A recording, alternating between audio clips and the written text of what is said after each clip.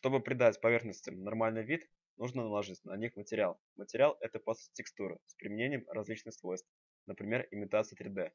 Итак, для начала нам нужно открыть контент-браузер, выбрать раздел Materials, также можно выбрать тег Building и выбрать нужный нам материал. После этого можно закрыть контент-браузер, выбрать нужную нам поверхность, нажать на ней на правую клавишу мыши и выбрать Apply Material. Можно сразу выделить несколько поверхностей.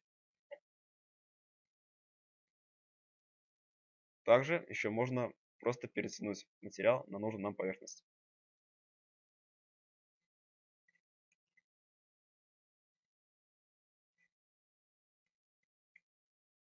Очень важный пункт – это изменение свойств поверхности. Для этого нам нужно выбрать поверхность, нажать на клавишу F5 или выбрать меню в вкладке View Surface Properties.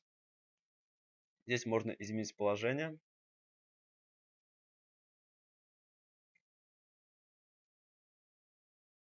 Клавиша Shift происходит обратное действие.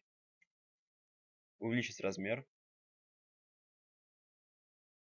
Изменить выравнивание. и прочие настройки